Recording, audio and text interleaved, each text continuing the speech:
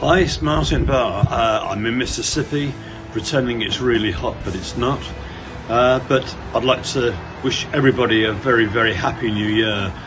It's going to be a great new year for us because we're on tour in America and we'll be coming to the Newton Theatre on February the 18th. So we can't wait and uh, we really look forward to seeing you there. Have a good one.